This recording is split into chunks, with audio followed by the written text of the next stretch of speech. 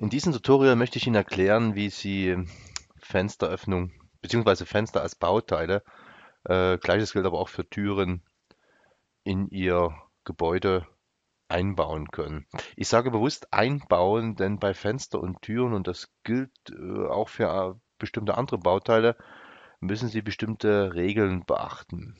Eine Regel ist die, dass Sie ein Fenster zum Beispiel nicht einfach so in Ihrem Projekt platzieren können. Ich schalte mal um auf so einen Fensterbefehl. Und, ähm, und jetzt fahre ich hier im 3D so hin und her. Und Sie sehen, da habe ich dieses Symbol, dass ich hier nirgendwo was absetze, es sei denn, ich fahre über eine Wand. Ja, das heißt, eine, ein Fenster, aber auch eine Tür, aber auch ein Dachfenster. Und es gibt noch diverse andere Bauteile, äh, die so funktionieren, die brauchen ein sogenanntes Basisbauteil, in welches sie platziert werden. Quasi, das haben quasi ein, ein Masterbauteil oder man sagt in Revit dazu Basisbauteil, zu dem sie dann gehören. Und von dem bekommen sie auch erstmal die, die Eigenschaften, die wesentlichen, zum Beispiel die Position und so weiter. Und innerhalb dieses Basisbauteils können die dann je nach Funktionalität platziert werden. Das heißt, so ein Fenster wird natürlich äh, quasi jetzt hier auf dieser Wandseite platziert und, äh, und eine Tür auch. Ja, und Sie sehen, sobald ich über diese, über diese Wand hier fahre, wird das entsprechend äh, eingebaut, dann in diese Wand, wird dann mit Bestandteil dieser Wand. Äh, Sie können das im 3D machen. Ich habe allerdings jetzt in Vorbereitung auf das Video festgestellt, dass es in der aktuellen Version, das heißt, in der mir hier vorliegen, nicht so richtig funktioniert. Äh, wie es bisher funktioniert hat. Ich äh, werde auch nicht ganz schlau daraus, was da hier los ist. Äh, es ist allerdings aber eine Vorgehensweise im 3D, die in der Praxis nicht so häufig gemacht wird. Ja, ich, ich, finde sie ganz, ganz toll, weil sie das dann eher nachvollziehen können, wie das so passiert, was passiert, wenn ich so ein Fenster platziere. Aber um das eigentliche Fenster zu dann quasi später mal äh, zu verbauen, macht man es eher im Grundriss. Dennoch werde ich hier mal ganz kurz das zu Ende führen. Ich tue mal hier umschalten, damit Sie das ein bisschen besser sehen, mal vielleicht von hier aus. Ähm,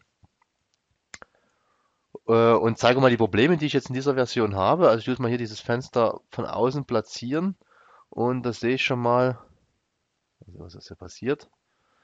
Und das zweite hier daneben. Er richtet das hier aus, macht das, das macht er leider nur horizontal, vertikal macht das nicht, ja, weil jetzt ein anderes Fenster drunter ist. Und jetzt schauen wir uns das hier mal an. Ich gehe mal auf Escape und breche den Befehl ab und habe schon das erste Problem, dass er mir das Fenster hier verkehrt rum eingesetzt hat. Ja, also äh, normalerweise, wenn ich im Grundriss ein Fenster verlege, dann äh, muss ich immer von außen auf die Wand klicken, damit das, mit, das Fenster richtig positioniert ist. Also das Außen außen ist und innen innen. Aber hier im 3D macht das auf einmal umgekehrt. Das würde bedeuten, ja, wobei damit könnte ich noch leben, dass sie das Fenster halt dann quasi von innen machen müssen. Ja, also ich mache es nochmal richtig. Ich gehe mal auf ähnliches platzieren. Mache es mal auf der anderen Seite der Wand, also von innen. Dann passt die Ausrichtung. Ja, jetzt sieht man hier, jetzt ist hier innen, innen und hier ist außen, außen. Ich weiß nicht, ob das jetzt hier Absicht ist oder ob ich da jetzt hier irgendwo in der Version liegt. Also ich habe es nicht so in Erinnerung. Ich mache das ehrlich gesagt selten im 3D, jetzt nur für Vorführzwecke. Ähm, aber das ist wie gesagt eine Sache, die man beachten muss. Okay, mit der könnte ich noch leben, aber ich zeige noch ein weiteres Problem, das Sie im 3D haben. Das habe ich allerdings hin und wieder mal gemacht, diese Methode, die ich jetzt zeige. Ich gehe mal hier auf so eine Vorderansicht, auf eine Frontalansicht und möchte jetzt zum Beispiel hier dieses Fenster an dem hier unten ausrichten und das, dieses Fenster an dem hier drüben. Ja, und ich mache das ja einfach mal und gehe also hier auf Ausrichten, dann also ändern, wähle den Ausrichten-Befehl, muss jetzt schauen, dass ich hier so eine Fensterkante erwische, nehme also die Tabulator-Taste, aktuell ist die Wand, sieht man hier, ist die, wäre die Wand ausgewählt, jetzt Tabulator-Taste und jetzt habe ich hier quasi, ich sehe es an der Vorschau, nur diese Kante und richte jetzt diese Kante hier oben aus und achte mal auf das zweite Fenster, dann geht das mit. Für mich völlig unklar, warum das so ist. Ähm, lässt sich nicht erklären. Äh, ist mir auch neu. Ich, das war früher nicht der Fall. Und ich weiß nicht, ob das ein Bug ist oder ob das irgendeiner Logik folgt, die ich mir, die ich nicht nachvollziehen kann.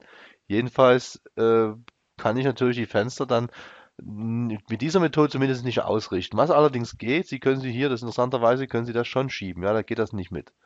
Ja, also man macht das allerdings selten im 3D. Was ich vielleicht noch schnell korrigieren möchte, kann man das auch im 3D? Ja, ich fürchte leider, es geht nur im 2D. Äh, die Ausrichtung des Fensters, da ist ja noch verkehrt. Oder ja, im 3D geht das nie. Äh, beziehungsweise muss eh eine Tür rein. Also wie gesagt, so viel zu Fenster in 3D verlegen. Sie können es ja gerne mal machen. Vielleicht haben Sie das Problem in Ihrer Version nicht. Vielleicht ist das dann auch mit der nächsten Version wieder behoben. Vielleicht hat auch einer oder andere von Ihnen eine Erklärung, woran das liegen könnte. Also Kommentare sind da gerne willkommen. Jedenfalls äh, sollte man Fenster nicht unbedingt im 3D machen. Deswegen zeige ich Ihnen das jetzt wie Sie das im 3D, äh, im 2D machen können, sprich in einem Grundriss. Ich habe das schon mal vorbereitet. Ich habe also hier meine, mein Obergeschossgrundriss und äh, sehe jetzt hier auch aufgrund meines Imagebildes, wo hier die Fenster hinkommen sollen. Ich lösche nochmal die alten anderen Fenster raus, damit ähm, ich das mal richtig machen kann. Hier sollen ja übrigens Türen rein und keine Fenster. Also ziehe ich mir hier ein Auswahlrechteck über diesen Bereich, gehe auf Filter, sage nichts markieren nehme nur die Fenster rein und drücke die Entfall-Taste auf meiner Tastatur und die Fenster sind wieder draußen. Ja, jetzt, jetzt werden wir die Fenster mal so verlegen, wie man das in der, normalerweise in 80% der Fälle tut. Ich gehe also hier auf Architektur, wähle Fenster aus, insofern gleich. Äh, man sieht ja schon, hier hat man schon mehr Optionen, die man vorher nicht hatte. Wichtig ist hier der Hinweis, ähm, dass das Fenster die Ebene zunächst von der Wand erbt. Das heißt, die Ebene, auf der die Wand steht, wird dann auch die Bezugsebene vom Fenster. Ja, das werden wir uns gleich mal anschauen, wenn es dann darum geht, die Fenster in der Höhe auszurichten. Zunächst äh, werden wir sie erstmal horizontal ausrichten. Ich sage das jetzt nur, weil es gibt leider nicht die Möglichkeit, schon im Vorfeld zu sagen, nee, ich möchte eine andere Ebene haben. Ja, das sieht man hier. Da gibt es keine Möglichkeit, hier irgendwas einzustellen. Zumindest ich sehe es jetzt hier nicht. Nicht, dass ich sage, man soll nie nie sagen, aber na, gibt es nicht, ja. Okay, ähm, jetzt wähle ich ein Fenster aus, das dürfte noch das Richtige sein. Und hier ist wichtig, auf die Außenseite zu gehen, ja, also anders als vorhin im 3D, äh, auf die Außenseite der Wand klicken. Außen und absetzen. Sie können das, das kennen Sie ja von Revit, jetzt am Anfang schwierig genau platzieren, macht das dann eher im Nachhinein. So, hier haben wir ein kleineres Fenster. Ich glaube hier unten auch. Hier haben wir noch so ein Fenster. Und lassen wir es mal dabei. Jetzt schaue ich noch mal, ob ich hier ein paar Türen finde, beziehungsweise hier haben wir noch die kleineren Fenster, ich glaube einen Meter. Waren das die richtigen? Ja. Machen wir noch schnell die. Und Sie könnten jetzt theoretisch hier äh, noch die Richtung korrigieren. Ich mache das dann im Nachhinein, wenn ich das eh nochmal, ich will das mal nur platzieren. Und hier auch. Jetzt haben wir die platziert. Jetzt fehlen noch die Türen. Jetzt muss ich direkt mal gucken, ob ich äh, hier so eine Tür finde. Es ist eine Art Balkontür. Da gibt es einmal die Möglichkeit, eine Fenstertür zu machen oder generell Türen. Ich weiß jetzt ehrlich gesagt gar nicht, ob hier schon was geladen ist. Eventuell ist da schon was drin. Hier, FE-Tür, Drehküpp. Ich glaube, das ist die von unten. Die können wir nehmen und hierhin platzieren, wieder von außen. Und hier auch von außen. So, wie gesagt, ganz grob erstmal platziert. Jetzt werde ich im nächsten Schritt das Ganze noch ein bisschen ausrichten. Äh, ich zeige Ihnen die Variante übers Achsenraster. Ja, man könnte das theoretisch jetzt auch die Wand komplett durchbemaßen. Ich zeige das einfach mal, damit Sie das mal sehen. Ich schalte trotzdem hm, vorher das Rasterbild aus, damit Sie das ein bisschen besser nachvollziehen können. Gehe also jetzt hier auf mein, gebe mein VG ein, dann gebe ich jetzt hier ein R ein damit er nach hier unten springt und hier Rasterbild und macht das aus. Jetzt sieht man so ein bisschen besser, was hier abgeht. Das werde ich mal, nur mal, damit Sie die Variante sehen, diese Wand hier bemaßen. Gehe also hier auf Bemaßung, wähle aus Kantenwand. Ja, es ist okay. Dann wähle ich Wände, möchte eine komplette Wandbemaßung haben und muss die Öffnung mit reinnehmen. Hier keine Achsen, sondern die Breite. Wandverschneidung will ich nicht haben, Raster, Schnitt möchte ich auch nicht haben. Und setze mal hier die Wand ab. Klicke auch jetzt die Wand an, jetzt kann ich Bemaßung positionieren. Und jetzt möchte, was ich Ihnen eigentlich zeigen möchte, ist jetzt folgendes. Ich kann jetzt hier das Fenster anklicken und könnte jetzt hier ein Maß eingeben, zum Beispiel 1,25 Meter. Ja, das ist, so können Sie theoretisch die ganze Sache bemaßen. Ja, also über die Maßkette können Sie die Elemente quasi dann nochmal ausrichten. Macht aus meiner Sicht wenig Sinn, ja, das von hier aus zu bemaßen, von der Wärmedämmung aus, weil so wird das normalerweise später nie eingesetzt, ja. Macht eher Sinn, das quasi dann über Rohbarmaße zu nehmen, aber egal. Theoretisch könnte man das so machen, ja. Äh, das ist aus meiner Sicht ein großer Vorteil von Revit. Ich möchte Ihnen allerdings eine andere Variante zeigen, dann gehe ich schon mal auf rückgängig die zum jetzigen Zeitpunkt aus meiner Sicht mehr Sinn machen würde, nämlich, dass ich das Fenster hier an meinem äh, Arbeitsebenenraster ausrichte. Ist eh schon relativ genau dran. Gehe also hier auf Ändern, dann Ausrichten, wähle hier meine Arbeitsebene aus. Mit der Tabulator-Taste muss ich hier noch ein bisschen näher ran. Dann hier meine Fensterkante und jetzt ist sie genau in der Arbeitsebene drin. Mache dasselbe jetzt hier, Arbeitsebene auswählen,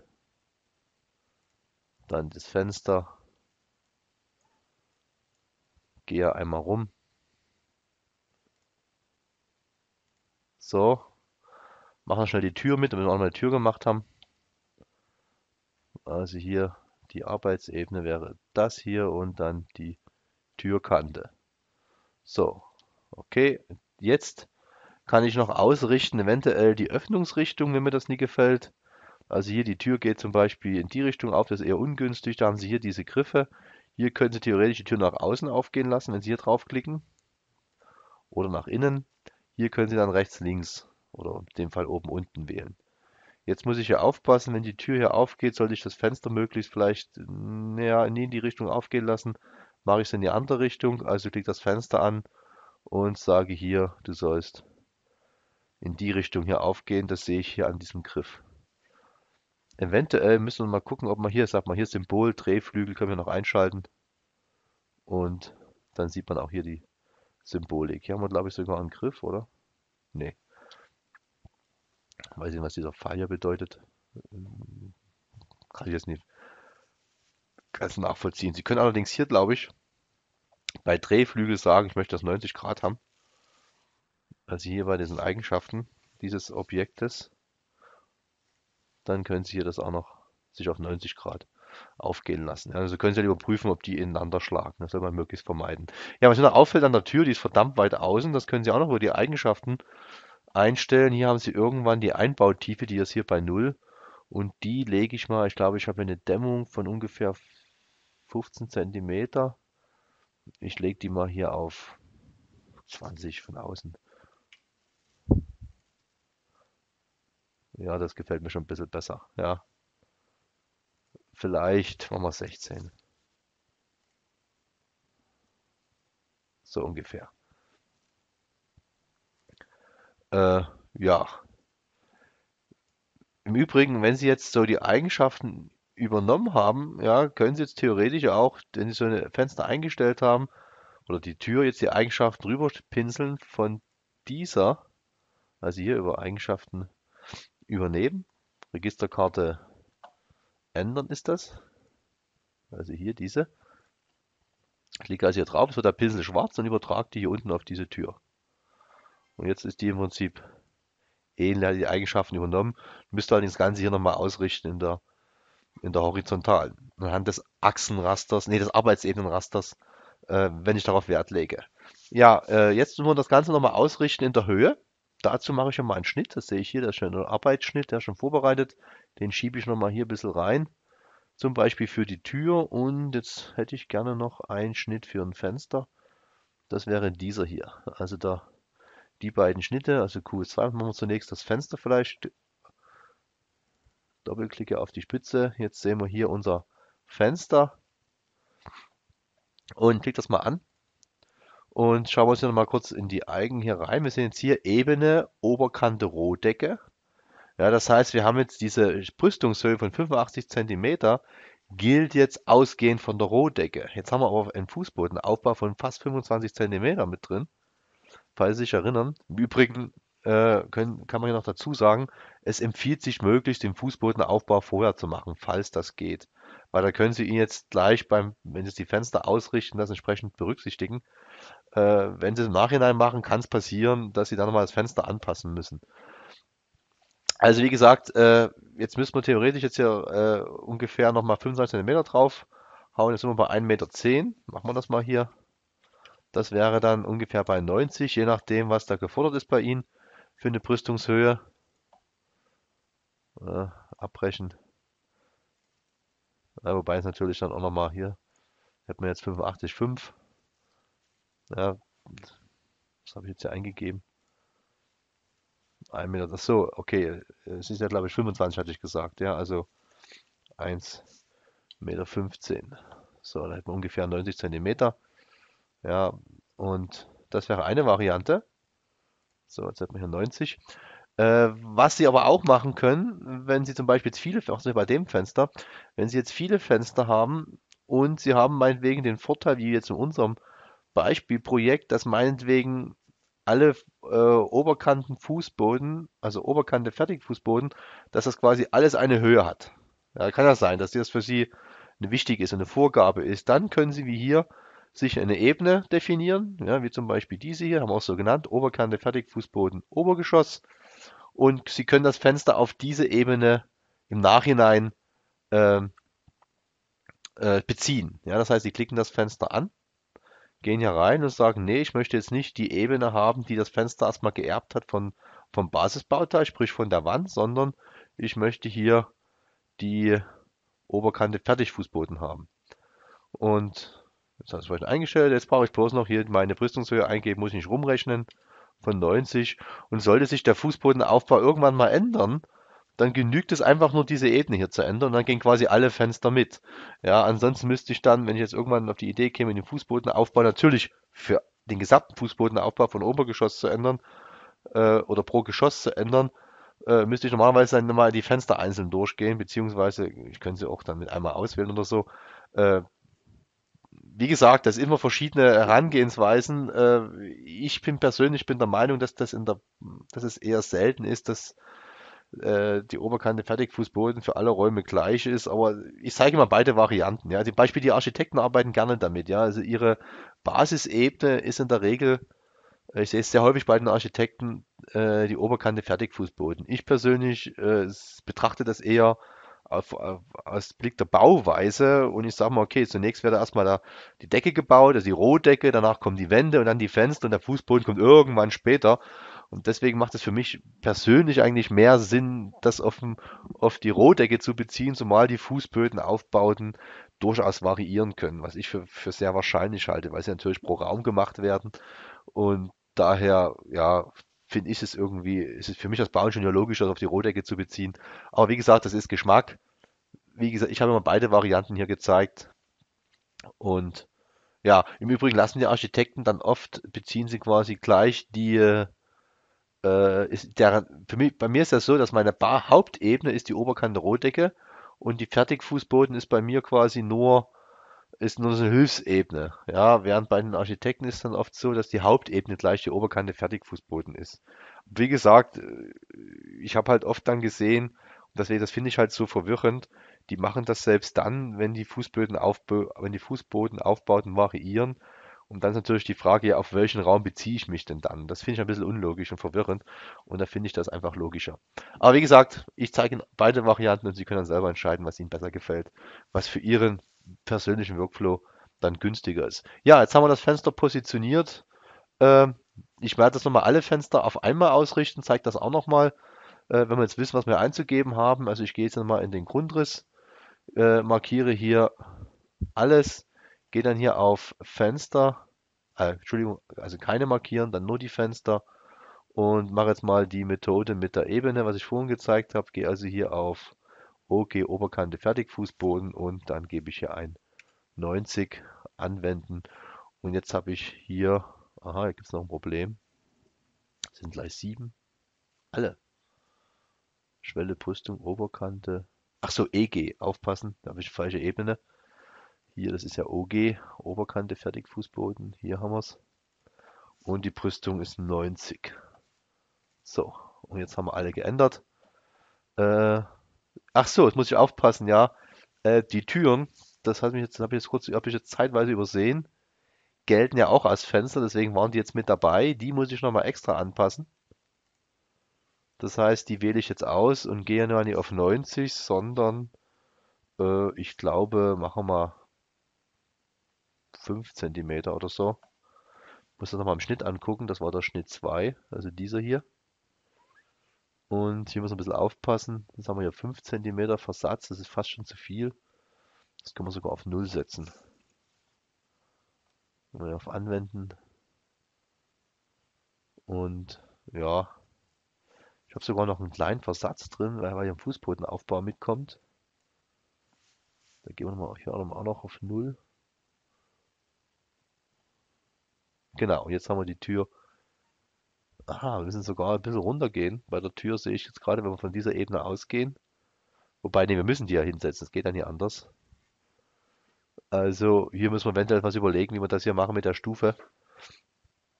Äh, das ist noch ein, ein ganz schön großer Sprung von dem Fußbodenaufbau auf diesen. Das ist doch nochmal interessant. Wie, wie viele Zentimeter sind denn das?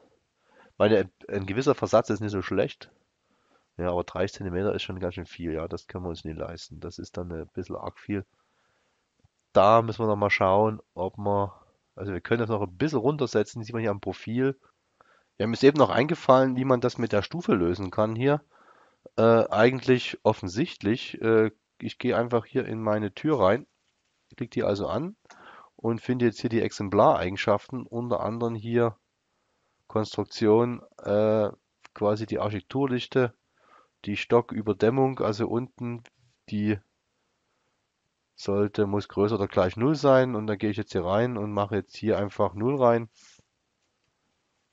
Und habe jetzt hier diesen Versatz. Brauche ich ja in dem Fall nie, weil ich, das ergibt sich ja schon hier.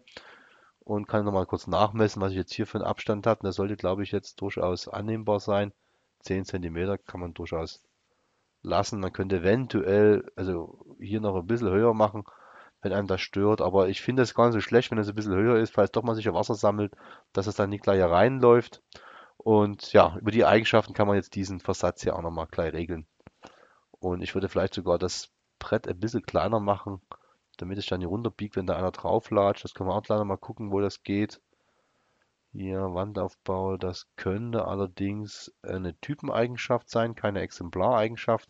Exemplareigenschaft heißt, das gilt nur für diese Tür und nicht für alle Türen dieses Typs. Jetzt gehe ich mal in die Typeigenschaften rein, das heißt, die gelten jetzt für alle. Und jetzt muss ich gucken, wo es jetzt hier ist, wo das sein könnte. Fensterbank. Überstand hier, oh, das ist ein bisschen wenig.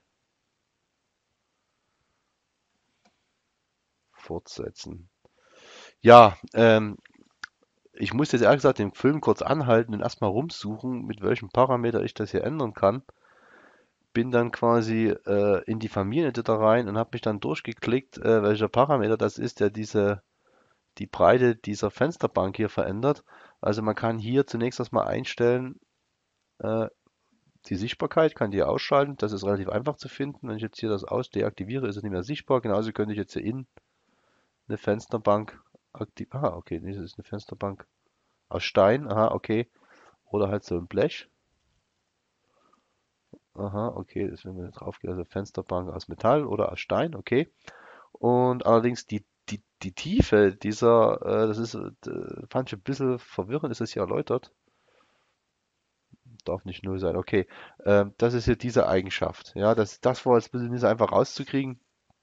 Wenn ich das auf 5 setze, dann ist das ja noch ein bisschen kleiner und ich, äh, weil es ist ja nur ein dünnes Blech und wenn ich das zu sehr rausstehen lasse, dann wird das dann durchgebogen. Das muss ja nicht sein. Man kann es vielleicht sogar auf 3 cm setzen, dass ich halt nur eine Tropfkante habe. Ja, das ist eigentlich aus meiner Sicht sogar noch sinnvoller. Und habe jetzt hier äh, das Fenster erstmal so im Groben, also für einen Entwurf bis hin zur Einreichplanung erstmal ganz gut eingestellt. Man könnte dann in der Ausführungsplanung jetzt hier noch Details machen äh, und das Ganze noch ein bisschen feinjustieren. Vor allen Dingen dann auch sich überlegen, welchen Hersteller nimmt man dann genau. Aber hier für den Entwurf reicht, reicht das mal diese Einstellung aus. Ähm, vielleicht nochmal, wen es interessiert, äh, der kann jetzt noch, äh, noch mal schauen, wie habe ich das rausgekriegt, was das, das ist. Da bin ich quasi hier auf rechte Maustaste und hier auf Familie bearbeiten kann, beziehungsweise Sie können das auch, wenn Sie Familie ausgewählt ist, von hier oben machen, Familie bearbeiten. Da kommen Sie in Familieneditor rein. Das ist natürlich für jemanden, der jetzt keine Ahnung hat und ich, zu, ich gebe auch zu, für mich ist es auch noch, sind Fenster immer noch äh, ziemliches Buch mit sieben Siegel und Türen auch. Die sind relativ komplex, die Familien. Ich will aber nichts ändern. Ich will einfach hier noch schauen, äh, was, äh, was muss ich ändern, damit halt die Fensterbank kleiner wird. Und da sehe ich quasi jetzt hier, die Fensterbank ist quasi eine Familie in der Familie, ist quasi eine eigene Familie quasi äh, wiederum. Das ist auch wieder ein Bauteil, wenn Sie so wollen, dass man quasi jetzt vorgefertigt hat und dann hier drinnen eingebaut hat und auch verlinkt hat. Das heißt, jetzt bin ich hier reingegangen auf die Fensterbank, dann auf, äh, wo war's? Hier auf Familie bearbeiten. Wo ist es jetzt hier hin? Achso, hier oben. Familie bearbeiten, das war nur der Typ. Hier oben muss man immer die Familie selber gehen. Das war nur der Typ, den man eingebaut hat, das ist die Familie selber hier auf Bearbeiten. Jetzt bin ich hier in der Familie, jetzt sehe ich hier, aha, das ist hier die Breite, äh, Leibungstiefe. Dann gehe ich hier oben in die Familieneigenschaften rein, suche mir jetzt hier die Leibungstiefe. Wo ist es jetzt wieder hin?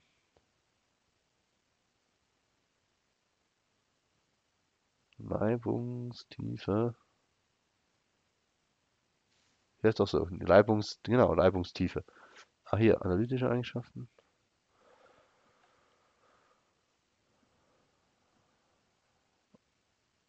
Oder bin ich jetzt in der falschen Familie drin? Ne, ne, ist schon die richtige. Warum sehe ich jetzt nicht die Leibungstiefe? Ach ja, B-Leibungstiefe. Ich habe vergessen das B. Ja, und da sieht man das ausgegraut. Das ergibt sich, also die Leibungstiefe ist ein Parameter, den Sie selbst nicht eingeben können. Der wird quasi berechnet aus dem Wandaufbau außen plus Einbautiefe. Gehe also jetzt hier Wandaufbau außen, den kann ich aber allerdings eingeben. Das heißt, hier ist es so, dass quasi die Eigenschaft der Breite wird über, kann sie quasi über Wandaufbau außen steuern. Okay, jetzt weiß ich das. Jetzt gehe ich hier zurück in meine Familie mit dem Fenster. Das ist quasi die Familie mit der Fensterbank. Wechsle jetzt zurück in die Familie mit dem Fenster. Das war, glaube ich, hier, oder? Nee. Äh, das ist jetzt hier. Das ist mein Fenster. Gehe wieder in meine Fensterbank. Hier auf die Typeneigenschaften und suche jetzt hier den Wandaufbau. Beziehungsweise, wenn ich das nicht finde, dann muss ich zu den Exemplareigenschaft, das war eine Exemplareigenschaft übrigens, habe ich vergessen, keine Typeigenschaften. Gehe also jetzt mit der rechten Maustaste hier drauf und sage, ähm, alle Exemplare auswählen. In dem gesamten Projekt gibt es eh nur eins. Gehe jetzt in die Eigenschaftenblätter und finde jetzt hier irgendwo Wandaufbau hier Wandaufbau aus und dann sehe ich hier, das ist ausgegraut, das ist quasi verlinkt. Ja, man hat quasi diese Eigenschaft, gibt quasi jetzt, ist quasi verknüpft mit einem Parameter von dem Fensterobjekt. Also ich erinnere nochmal, äh, ist das für die Fensterbank selber da draußen ist quasi ein eigenes Bauteil, deren die hat dieses Bauteil hat den Parameter Wandaufbau außen, über den kann ich die Breite dieser Fensterbank steuern und dieser äh, Parameter ist jetzt quasi verknüpft mit einem eigenen Parameter in dem Fensterbauteil.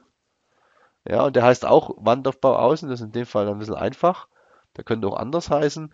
Und über diesen kann ich jetzt, also über diesen Parameter kann ich quasi jetzt die Breite ansprechen. Das heißt, jetzt weiß ich, wonach ich suchen muss. Ich gehe jetzt quasi hier in den Schnitt und finde jetzt hier den Exemplarparameter Wandaufbau außen. Hier oben war ja, also dieser hier. Und was passiert, wenn ich jetzt diesen ändere? Dann ähm, ändere ich zunächst den Parameter in der Fensterfamilie und der ist allerdings verknüpft mit dem Parameter in der Fensterbankfamilie wiederum, weil das ist ja ein Teil der Fensterfamilie. Sie können quasi eine Familie in der Familie haben. Äh, und kann dadurch dann die Breite dieser Fensterbank steuern. Es ist ein bisschen verwirrend, wenn Sie noch keine Familie gemacht haben, äh, gebe ich gerne zu, das ist dann ein bisschen irritierend. Deswegen habe ich gesagt, die das interessiert, die schalten einfach mal weg. Äh, und Das ist natürlich jetzt, äh, wenn Sie das nochmal als Resümee zusammenfassen, auf der einen Seite ist das ein Vorteil, dass man eigene Bauteile bauen kann in Revit, das, ich finde das total super. Äh, es ist allerdings aber auch wiederum ein Nachteil, weil das macht das, man braucht schon ein bisschen viel Wissen, um da durchzublicken. Ja, also ich jetzt andere Programme, die da jetzt nicht so offen sind, die sind in der Regel ein bisschen einfacher zu bedienen, weil da äh, das, das, das Problem ist, dass jeder die Bauteile machen kann, wie er will. Ja, und deswegen weiß ich nicht genau, äh, mit was kann ich jetzt, wenn ich jetzt irgendein Bauteil bekomme von irgendeiner Firma, äh, dann weiß ich nicht genau, mit, mit welchem Parameter kann ich das jetzt steuern. Ja, zum Beispiel die Breite dieser, dieser Fensterbank da unten. Wenn es nicht gerade eindeutig beschrieben ist, in dem Fall war es für mich nicht gerade eindeutig nachvollziehbar, kann das rumprobieren. Ja, und, äh, und das macht die Sache ein bisschen kompliziert, ja. Also hier hätte ich mir zum Beispiel im, im Archicad ist es so, da gibt es Standards, da sind alle Bauteile sind quasi standardisiert und da ist im Prinzip der Parameter immer dasselbe, ja. Und äh, wenn man sich da einmal ausgekennt, dann, dann muss man jedes Mal rumsuchen. Der Nachteil ist wiederum, man kann im Revit das nicht so einfach äh, wiederum eigene Bauteile äh, im Archicad. Ja, es ist immer Geschmackssache. Ja, jedenfalls, das war nochmal hier kurz ein Hinweis gewesen, wie Sie im Prinzip rauskriegen können, für wen das interessiert, äh, wie der Parameter heißt, den Sie ändern müssen. So viel dazu.